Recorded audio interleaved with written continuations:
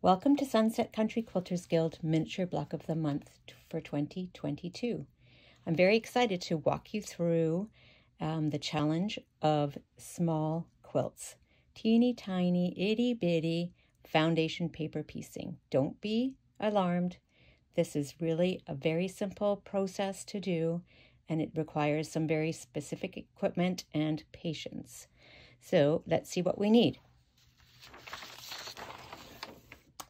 First of all, a good sewing machine in good working order with a quarter inch foot for piecing our blocks together, but more importantly, an open toe foot for the paper piecing. We need to be able to see where we're sewing as this is a sew by number, sew on the line um, process.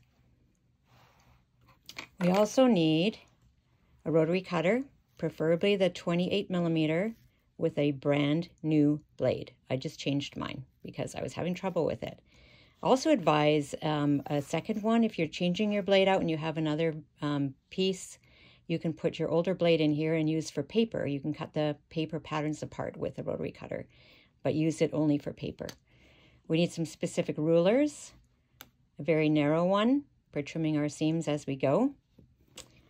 A larger one, conveniently, I have a two and a half inch, which is our most of our blocks are going to be two and a half inch when we're putting them together. And the finished block of the four pieces will be a four and a half inch. So I really like the Olfa um, rulers because of the simplicity. There aren't as many marks on it. It's easier to see. But any um, other brand of uh, two and a half and four and a half are really helpful. A six and a half and larger we'll be using for um, putting once we're squaring things up. So that'll be for a little bit later on. We need a pressing surface, which is what I have here, a wool mat.